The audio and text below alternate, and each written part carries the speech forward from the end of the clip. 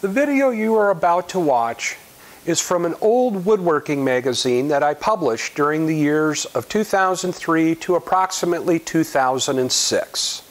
This was a very unique magazine. It was purely video content and it was distributed on DVDs. The magazine ran for approximately three and a half years, and then, uh, due to financial concerns, we simply had to terminate the magazine. We moved on to other things over the last roughly 15 years. However, there has been a request to resurrect this content, so I've gone through the trouble to get the equipment, the products, everything I needed in order to bring this content back to life to share with everyone. Here on this YouTube channel, we'll be putting up approximately 100 to 120 of the original stories that appeared in that magazine. The magazine was called Woodworking at Home Magazine, and it was truly one of a kind in the world.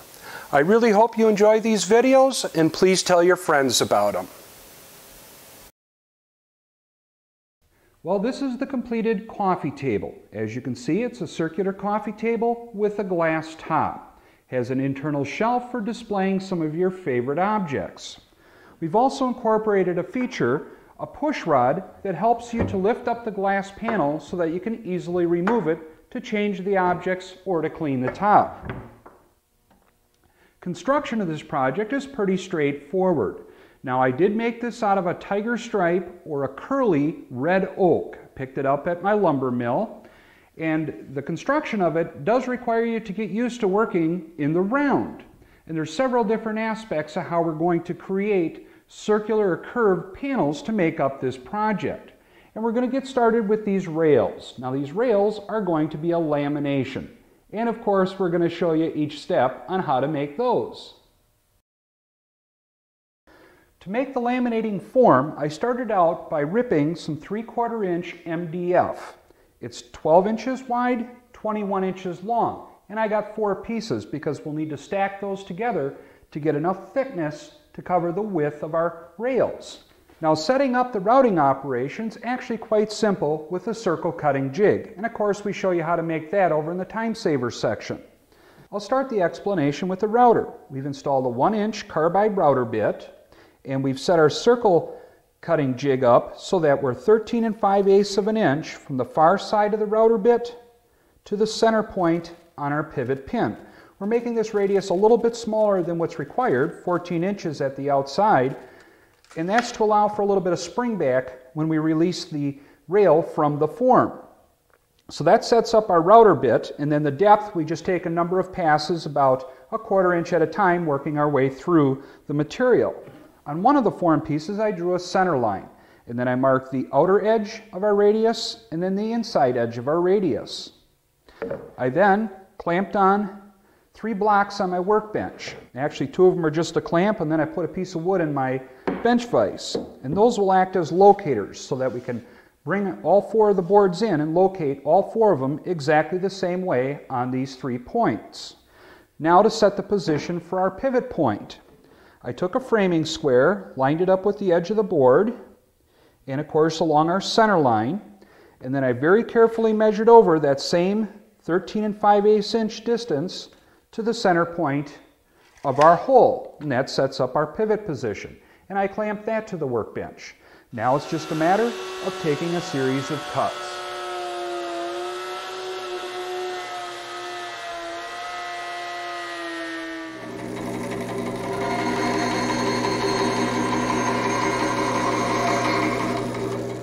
Now with them clamped together and lined up as best as I can get them, what I want to do is drill two quarter inch holes all the way through the stack. I'm not worried about if it's perpendicular or anything, I just want to drill all the way through.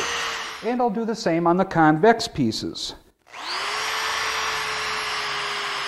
Now what we'll be doing with these quarter inch diameter holes is I'll be tapping in some quarter inch diameter dowel. And that will help hold everything in alignment while that glue sets up.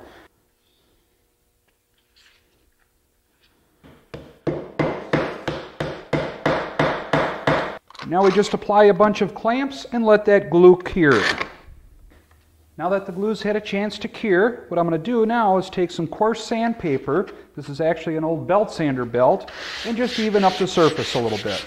Now if you remember, we took a one inch router bit and milled out that slot. And the reason for that is, we're going to apply a facing material. In this case, it's a, a, cork, and you can pick this up at your home center. Just look over by the uh, bulletin boards and the whiteboards and so forth, and they'll have this material on rolls. And what we're going to do is glue this to the curved faces on each of our form halves. And what that will do is even out that clamping pressure. Now to glue it in place, I'm just using standard yellow woodworking glue, and then I'll tape it in place until the glue has a chance to cure. Now you can cut this cork using a straight edge and a sharp utility knife. Cuts very easily. The final step in preparing our form for use is to wrap this packing tape over the cork, and that will help prevent the glue from sticking to the cork.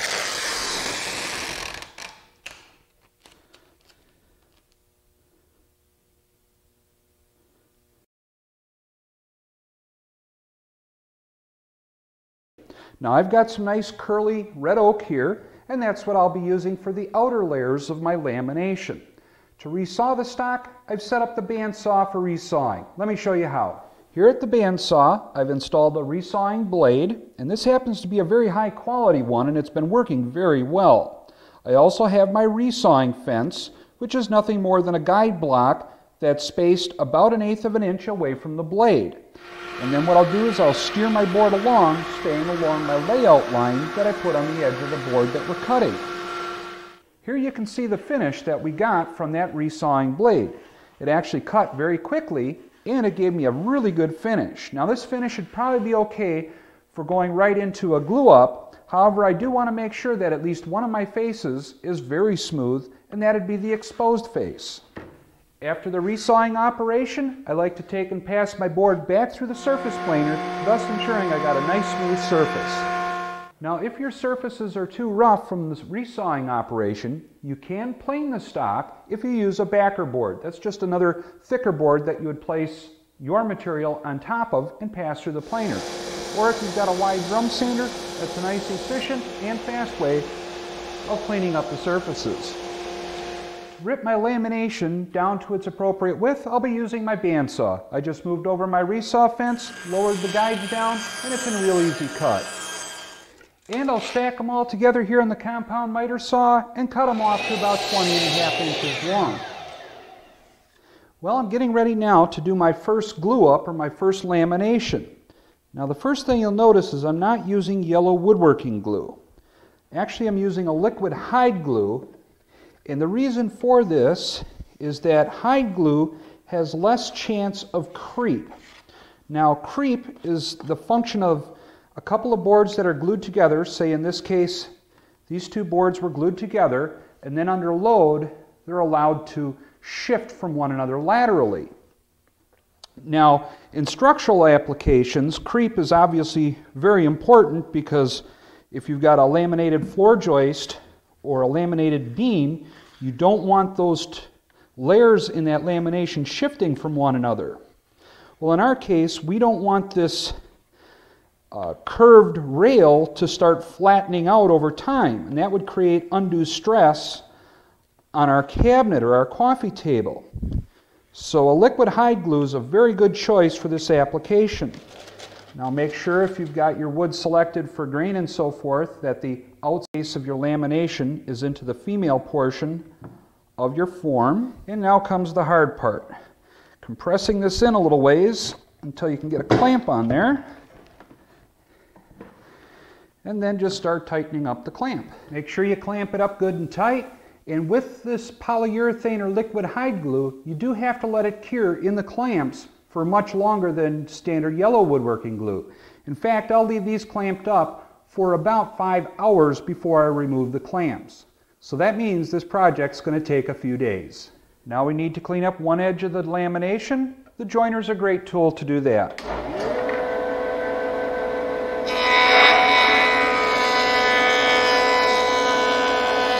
While it certainly is possible to rip a curved board over at the table saw, I find it safer to do it here at the bandsaw.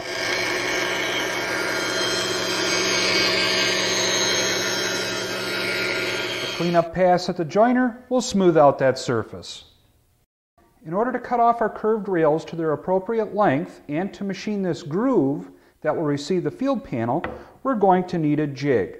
I've already gone through, ripped it to width, cut it off to length, and then carefully laid out some locations on it. Now our next step is to carefully position one of the curved rails on there according to the layout lines, which again are shown in the drawings that we provide.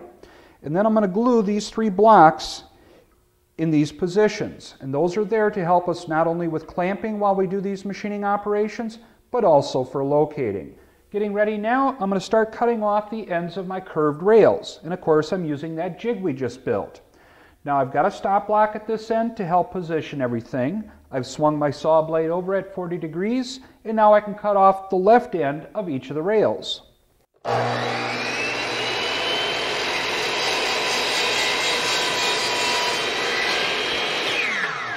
Getting ready now to cut off the curved rails to their proper and final overall length.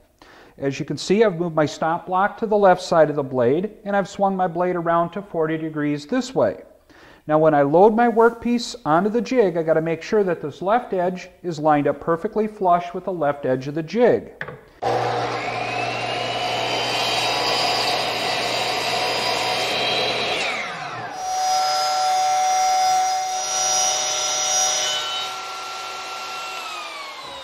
Now that we've shown you how to cut the groove, Let's take a moment to explain this setup.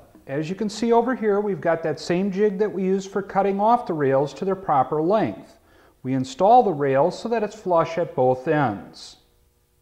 We also clamp the rail using these end blocks and a couple of clamps. The jig is also clamped down to the workbench surface. Then, using a framing square, I carried the center line position down along the workbench and marked it using a piece of masking tape and a pencil line. And that tells me where to move my pivot point in this axis. Then using a tape measure, I measured from the outside edge of our curved rail to the center of our pinhole location. And I set that at 14 inches. Then I set the distance from my pivot pin center point to the outside edge of my router bit so that it have an eighth inch distance from the outside edge of the rail to the outside edge of that groove, leaving an eighth inch wall there. Then with a quarter inch router bit projecting a quarter of an inch, we can machine that groove.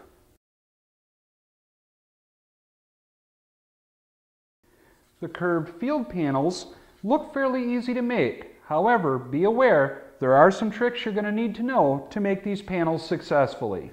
Making the curved field panels is actually much more complicated than it looks.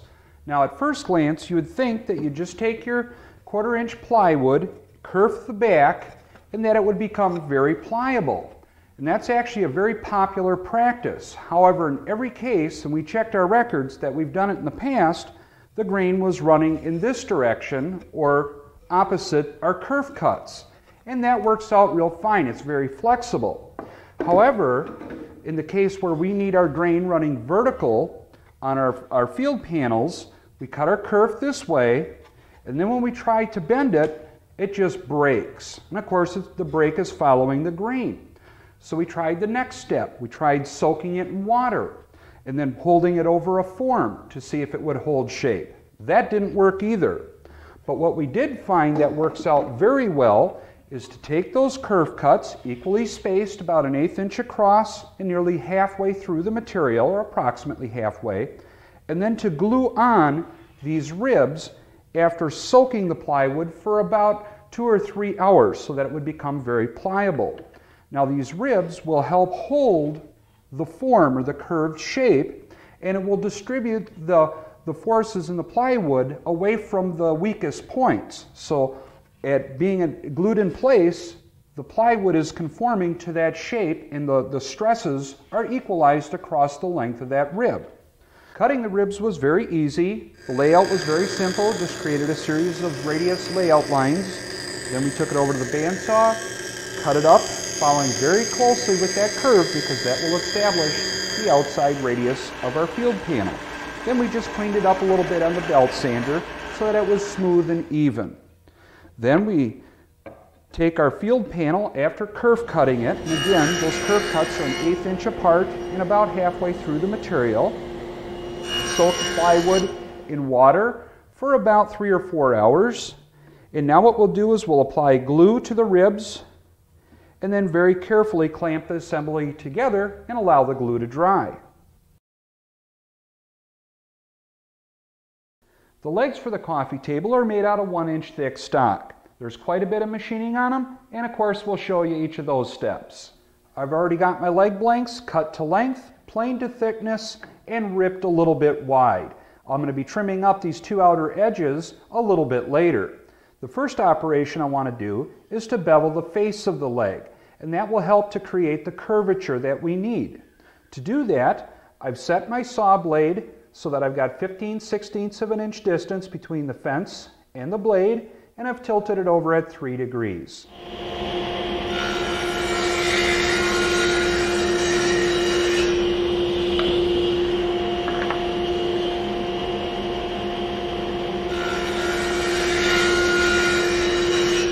Next operation, we need to take a bevel cut off of each edge of the board at 5 degrees. We want the outer edge to be an overall width of 2.5 inches. So I'm going to take my time and balance out those two cuts.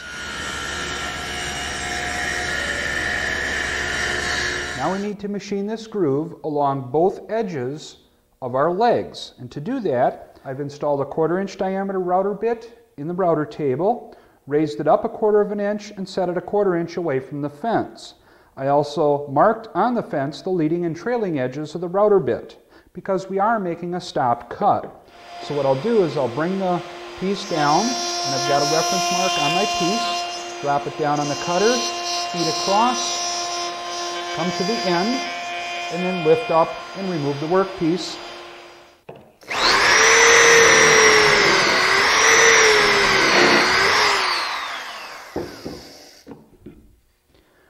Our top is going to be held on to the frame using pocket hole screws. We'll drill two pocket hole screws in each of the upper rails and one pocket hole screw at the top of each of the four legs.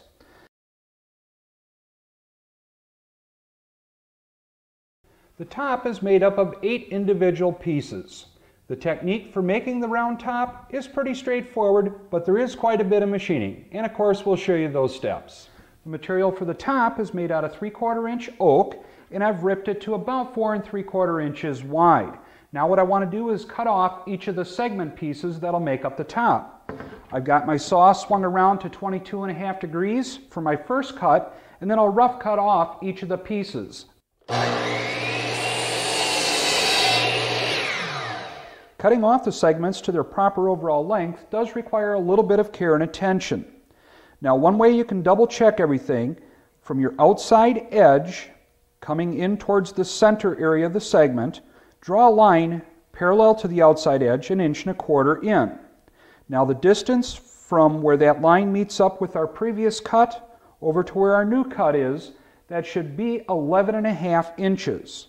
Now, if your board is four and three quarter inches wide, the distance at the outside points would be 12 and a half inches, maybe a little bit strong on that. So that should help you with your setup. Now I've set a stop block to ensure that each of my eight segments will all be the same length.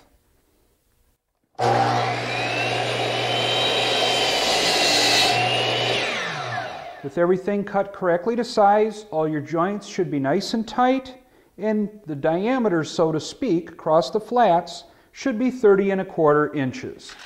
To reinforce this butt joint, I'm going to be using number 20 biscuits. Now I do want to be very careful as to where I cut the slot and position the biscuits. On this inside edge, remember we're going to be machining a rabbet in here, and that's roughly about a half inch wide rabbet. And we don't want the biscuit to show on the outside of the radius, so we do have to be very careful. So I'm going to be positioning mine about two and a quarter inches up from this inside point coming up this way.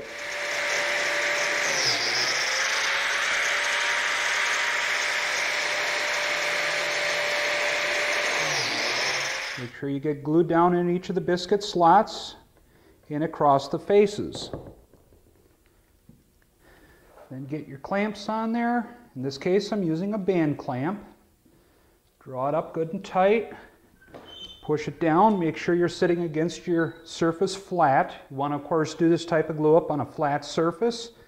Check the inside points along each of your segments. Make sure that they're all lined up properly. And then just let it dry. And of course, we'll let this dry thoroughly before we do any machining.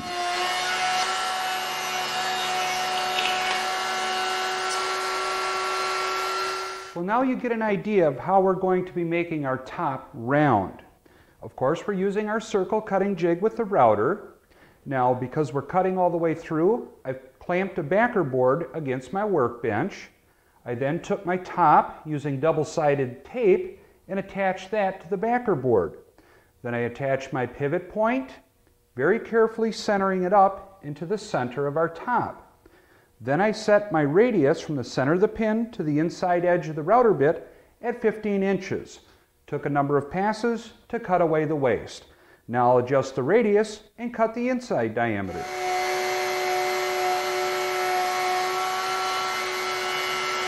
Using the same setup, I've adjusted the radius so that we can machine the rabbet that will receive our glass top. I've set my router bit depth this time so that it's only cutting 3 eighths of an inch deep.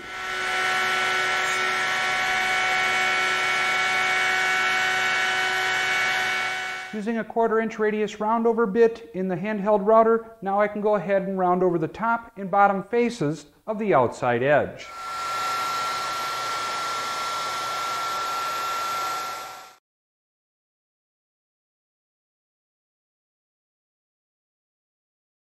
The coffee table incorporates an internal shelf for displaying your favorite objects. It's made up of three basic components. Making the shelf in the upper ring is pretty straightforward and only requires a couple of steps. I started out again with a piece of scrap on top of my workbench. Using double-faced tape, attached my half-inch birch plywood, which I rough cut to about 26 and a quarter inches square. Using double-sided tape, I attached that to this piece of scrap material. Mounted my pivot block in the center of our piece now what I want to do is set the distance from the inside edge of my router bit to the center point on the pin. Get that set correctly so that I'm going to be cutting a 13 inch radius. Then I'm going to be using a quarter inch diameter router bit, and that's going to be very important. Not necessarily on this step, but on the next one. Now my first task is cut out the outside diameter of our upper ring. Taking 3 16ths or an eighth inch deep pass around each time works out about right for that quarter inch diameter router bit. Now we adjust our circle cutting jig so that we're from the inside edge, the pivot point being in this direction, 12 and an eighth inches away. And this cut will create both the ring that goes at the top of the shelf and the base that goes at the bottom of the shelf. Now it's just a matter of getting it up off that double sticky tape and being careful not to break that ring. The sides for the internal shelf also need to be pulled in at a curve. Now I want the good face to be on the inside, so I'm going to kerf the back side. Now because this piece is roughly about 80 inches long, I don't want to be taking eighth inch kerf cuts. So I've installed my 3 8 inch stack dado head cutter and I've set the height of it so I'm a little bit more than halfway through the material. And then I'll space these kerf cuts about 3 8 inch apart. With our internal shelf cut to size, I've taken that, placed it on top of my workbench, and then taken the top of the coffee table and centered it up very carefully on that shelf. Now what I need to do is lay out the locations where we want to drill the 3 quarter inch holes and the 1 17 64 inch hole. Now what I'm doing is going through and fitting my shelf sides to that ring that we cut earlier. And what I've been doing is placing it inside the ring, getting it to fit tightly in there, and then marking the location where I need to cut it off. And then I trim it up at the compound miter saw. Now that I've got it fitting inside the ring, I want to make sure that it'll fit around the shelf bottom. And right now it's just a little bit too loose. It's loose on the bottom, tight on the ring, so I'll trim it up just a little bit smaller. Now with everything fitting up good, we can assemble the ring, the shelf bottom, and the sides. I'll start by applying a thin film of glue around the inside diameter. Now we can install the sides, again being careful not to break it. And now I'll tack it in place with some half inch brads. Now I'll go ahead and place glue around the outside diameter of our shelf. And now we can place the ring with the sides on top. And I'm going to line up my seam on the side with the hole in our base that is 17 64 inches in diameter. And that will give us a little clue from the top side which one is our lifting mechanism. And again, tack it in place with some half inch brads.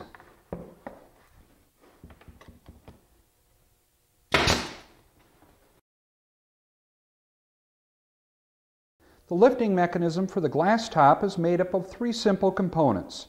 You'll have some quarter inch oak dowel rod that you'll cut off to its final length during final assembly. Then we have to make a handle, and I made mine out of an inch and a quarter diameter oak dowel rod, and you have to do a little bit of turning on it. Then that goes into the larger 17 64 inch hole, and then there's a keeper. And the purpose of this keeper, when the table's upside down, or right side up, I should say, the keeper will prevent the handle from falling out.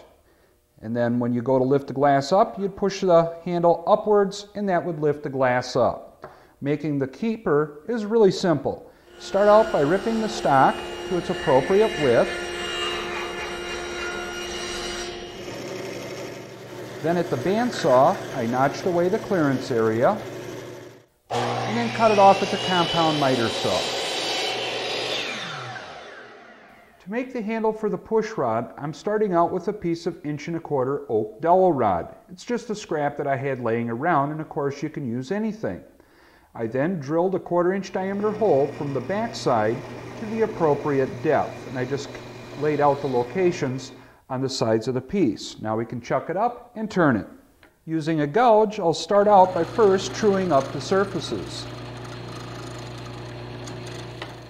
This end will actually serve as the area where we push up on it to lift the glass, so I'll shape it nicely to fit the hand, slightly mushroom shaped.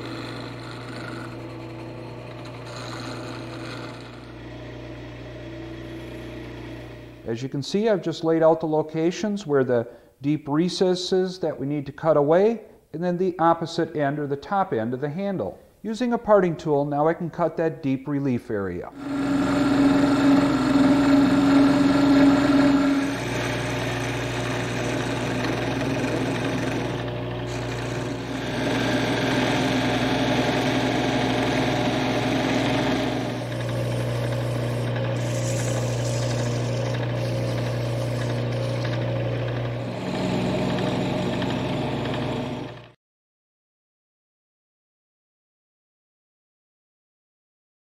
When we join the rails to the legs, we want a 1 8 inch reveal between the leg and the rail. The leg should stand proud. To join the legs to the rails, we're going to be using number 10 biscuits. When cutting the biscuit slots on the curved rails, I find that the biscuit joiner was a little bit more stable by referencing the inside or the concave face.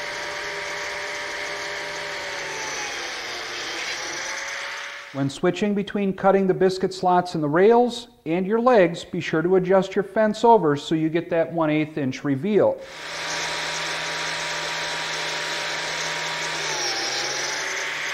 After a little bit of sanding to round over the outside faces of the legs and to clean everything up, I then went through the process of fitting up each of the components and going through a complete dry assembly at this stage.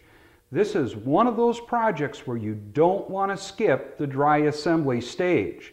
I've got everything fit up real nice now, and now I'm ready to go ahead and do the final assembly. Now I will warn you that assembling all these components will take some time, so I highly recommend either using a liquid hide glue or perhaps even a polyurethane glue, something with enough open time so that you don't have to rush. Now I should point out too that I did have to clip the ends of the biscuits. All I had to do was bump them up against the disc sander and that provided the clearance around the edges of our plywood panels. The plywood panels only need to float in the upper and lower rails. And I'll be applying a liquid hide glue in each of the biscuit slots, getting that spread around nicely. Now, of course, when assembling your rails, make sure you have the ones with the pocket holes going down. We are assembling this upside down. And working our way all around, coming right back to the starting point. Band clamps make an excellent choice for clamping together something round such as our coffee table. Pull it together good and tight and check to make sure all of your joints are drawing together. A little bit of twisting and wiggling on the legs sometimes helps. And the last step is to check and make sure that our coffee table is in fact round, and you would know that by measuring across two of the rails, and they should be the same distance. And we're right at 28 inches on both of them. We'll let that glue set up before moving on. In order to have enough clearance to gain access to the pocket hole screws in the rails, we're going to need to notch away a little area right above each of the pocket hole screws on that rib. So what I've done is I'm just taking my driver bit, placing it in the pocket hole with a screw, and then marking the location. Then using my rotary tool, I can grind away that clearance area. And that should do just fine.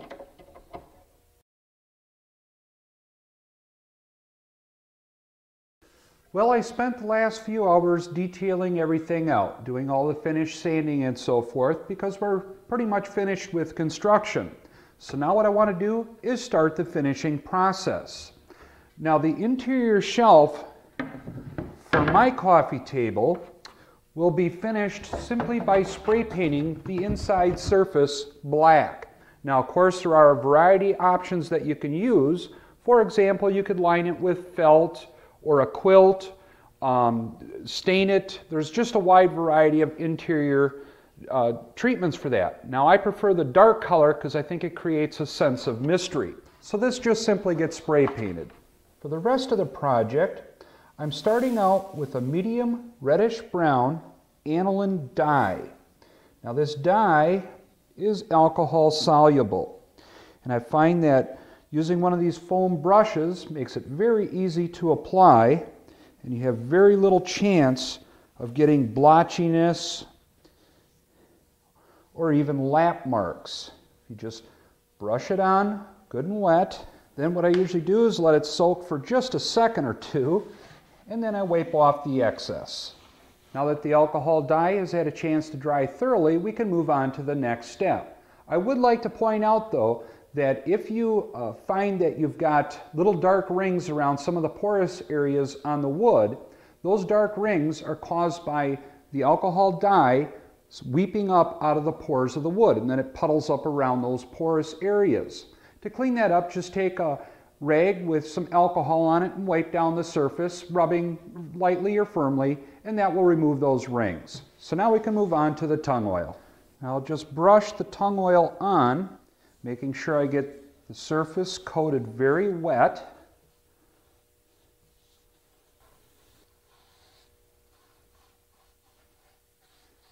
After it soaks in for a few minutes, wipe off the excess with a dry rag. For the top coat, I'm applying about three to four coats of an oil and urethane wipe-on product. It provides plenty of protection and it's very easy to apply. Simply apply it with a lint-free cloth, wetting the surface, and then you even up the surface or the texture by using the same wet cloth, wiping with the green.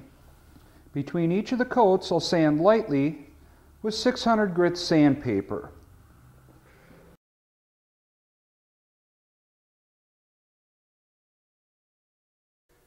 And now it's time for some final assembly. I got started by drilling some clearance holes for the screws on the flange of our shelf. I then took the top, centered it up very carefully on the shelf, and installed three of the, the dowel rods, and that helps everything with alignment. Now I'll flip it over and tighten up the four screws that hold the shelf to the top. The screws that I'm using are number 8 by 1 inch long sheet metal screws.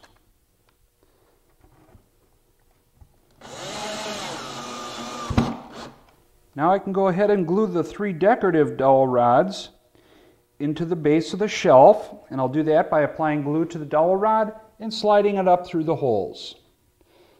Now when I get it up near the top, I want to make sure that the dowel rod is just flush with our rabbet or a little bit below. The first step in installing the push rod and keeper is to make sure that the push rod is the appropriate length. And I did that by holding my keeper to the bottom surface of our shelf and pulling the keeper down so it hits on our flange. Then at the other end, I carefully mark the location of the push rod and cut it off to length. The keeper gets held to the bottom of the shelf with a number 8 by 2 inch long screw. So I've gone through counterbored and drilled through the keeper so that the screw, when it's tightened all the way up, will only project out the backside about 7 16ths of an inch. Now what we can do is tighten that in place. No glue, we want to make sure that this is removable should we have to replace any components. With the pocket hole screws already set in each of the pocket holes, we can now take the frame, place that over our shelf and top, and center it up very carefully and tighten up the pocket hole screws. Now the next step for your coffee table is to go around the house and find some objects that are very special to you and place them inside the coffee table. Next, take your glass top and install that. And the push rod makes installing the glass pretty easy, as well as getting it out. Simply push up on the rod and pull the glass top back out. Now this glass top I picked up at a Pier 1 import store. Being a standard diameter, you can find these glass tops very affordably at a wide variety of supply stores, such as craft stores and interior decorating stores. Well, that wraps up this project of our circular coffee table made out of tiger stripe oak. It's a lot of fun to build, there's plenty of challenges in it, and the results are just outstanding. Thanks for watching. I'm Chris DeHut. I sincerely hope you enjoyed watching this video. If you truly enjoyed it, please help us share this information with the rest of the communities. Please hit the subscribe button, give us a big thumbs up, and be sure to tell your friends about this channel. Thanks again for watching.